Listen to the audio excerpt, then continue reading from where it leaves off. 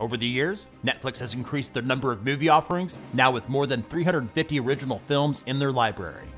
To separate out the good from the bad, in this top 10 we'll count down the best original movies on Netflix that you can watch right now. To qualify, the film must have premiered on the service since our video last year. And as always, these will be our personal favorites based on entertainment value alone, regardless of any political or social agendas.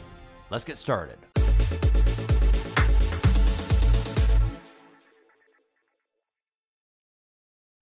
Starting off our countdown, coming in at number 10 is Army of Thieves. This heist comedy film, based on a story written by Zack Snyder, is a prequel to his other film, Army of the Dead, which is also on Netflix. Army of Thieves follows a small town bank teller who gets recruited by a mysterious woman to lead a group of Interpol's most wanted criminals to assist in a heist of impossible to crack safes across Europe. While not being groundbreaking, this film is a clear step up when compared to the lackluster Army of the Dead. It's fast paced, fun to watch, with likable characters. In at number 9 is the Western psychological drama, The Power of the Dog. Set in Montana in 1925, it stars Benedict Cumberbatch as a domineering but charismatic rancher who conducts a war of intimidation on his brother's new wife and her teenage son. It features fantastic cinematography and outstanding performances from Cumberbatch, along with co stars Kirsten Dunst and Jesse Plemons. While we did enjoy some of the film, we felt it wasn't deserving of all its accolades. The pacing at times is mind numbingly slow, and the story completely falls apart with an unbelievably terrible ending, which felt like it was a near waste of 2 hours and 8 minutes. Coming in at number 8 is The Unforgivable. This drama film is based on the 2009 British miniseries Unforgiven, written by Sally Wainwright. It stars Sandra Bullock as Ruth Slater, who's released from prison after serving 20 years for the murder of a sheriff who came to evict her and her five year old sister. Upon re entering society, she tries to put her life back together and searches for the little sister she was forced to leave behind. The Unforgivable is a slow burn with a satisfying ending and features one of the best performances of Bullock's career. In the number 7 spot is the apocalyptic dark comedy Don't Look Up. Written, produced, and directed by Adam McKay, it features an outstanding ensemble cast, including Leonardo DiCaprio, Meryl Streep, Jennifer Lawrence, Cate Blanchett, and many others. The story follows two astronomers attempting to warn humankind of an approaching comet that will destroy planet Earth. While the satirical humor does land its punches some of the time, some of you might be put off by the preachiness of it. Also, considering it's one of the most watched films ever on Netflix, we felt somewhat underwhelmed. With its star studded cast, Don't Look Up should have been better, and that's why it's only number 7 on our list. The Fear Street trilogy comes in at number 6. This horror film series is a collection of three separate Fear Street movies released over the course of three consecutive weeks. Based on the book series by R.L. Stine, the Fear Street movies in order are called 1994, 1978, and 1666. While each film could be watched individually without seeing the others, the overall story revolves around teenagers who work to break the curse that has plagued their town for over 300 years. If you want a serious dose of nostalgia, and you're a fan of slasher films like Friday the 13th, Halloween, or the Scream series, the Fear Street Trilogy will be a fun and welcome addition to your watch list. Coming in at number 5 is the action comedy film Red Notice stars Dwayne The Rock Johnson as an FBI agent who grudgingly teams up with a notorious art thief played by Ryan Reynolds. Their goal is to hunt down and catch an even more renowned criminal played by Gal Gadot. This fast paced action film doesn't take itself too seriously. It's actually quite silly, with funny dialogue throughout. This is one of those films that movie critics hated and viewers loved. Thankfully, the viewers won out. Red Notice became the most viewed film on release day for Netflix, in fact, it was so successful that two sequels are currently in development to be filmed back to back. In at number 4 is the computer animated science fiction comedy, The Mitchells vs. the Machines.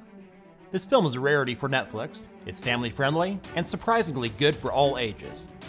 It's about a strange and dysfunctional family, while on a road trip, who are put into an impossible situation of having to save the Earth from a global robot uprising. It'll make you laugh, and at times might make you cry.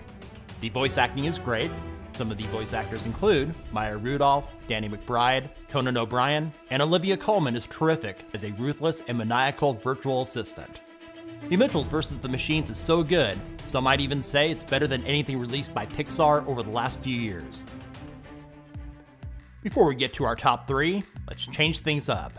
Instead of doing the usual honorable mentions, we'll instead show you five Netflix movies hated by viewers and critics alike that you might want to avoid. Home Team stars Kevin James as New Orleans Saints head coach Sean Payton after being suspended by the NFL, as he goes back to his hometown to coach his son's Pop Warner football team.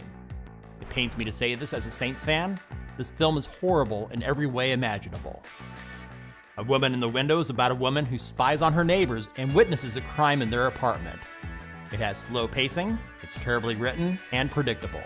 A complete waste of time. Texas Chainsaw Massacre is a reboot of the slasher franchise, with the infamous killer Leatherface terrorizing young friends in a Texas town. This film should have never been made. To be blunt, it's stupid throughout and not entertaining at all. Thunder Force is a comedy film about two childhood friends that reunite as an unlikely crime fighting superhero duo. It stars Melissa McCarthy in yet another comedy that's not funny, formulaic, with cringe inducing writing and acting. Brazen stars Alyssa Milano as a mystery writer that uses her expertise to help solve her sister's murder. Horrendous acting, along with a terrible plot, make this one of the worst films to ever appear on Netflix. Back to the countdown. Coming in at number 3 is The Adam Project.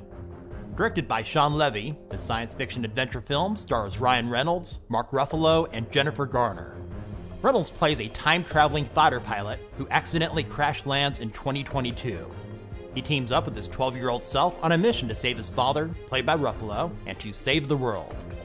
Outside of the typical sci fi cliches, this lighthearted film includes engrossing action scenes, exceptional visual effects, with humorous moments mixed throughout. The Adam Project's sole purpose is to entertain without pushing an agenda, and it does that very well. In the runner up spot, coming in at number 2, is Munich The Edge of War. This historical drama thriller, not getting the attention it deserves, is based on a novel by Robert Harris. Set in 1938 in the run up to World War II, it follows a young British political aide assigned the task of obtaining a confidential document exposing a Nazi secret from a former Oxford classmate who is now a German diplomat. Excellent performances and direction make the suspenseful spy thriller a must watch for those interested in the events leading up to World War II.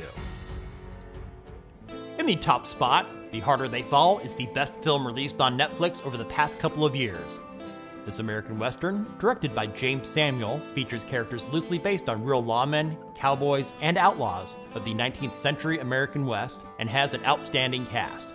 Some names you might recognize include Jonathan Majors, Idris Elba, Regina King, and Delroy Lindo. The story follows outlaw Nat Love and his gang gunning for revenge after his enemy Rufus Buck is released from prison. This unapologetically violent film features strong performances from the entire cast, great writing, and directing. The Harder They Fall is a wildly fun thrill ride from beginning to end. Thanks for watching. If this video helped you to find a new movie to watch, give it a thumbs up. What Netflix original film is your favorite? Let us know about it in the comments. And if you're new to our channel, subscribe and ring that bell to stay up to date with our latest top 10s and other tech related stuff here on Tech Gumbo.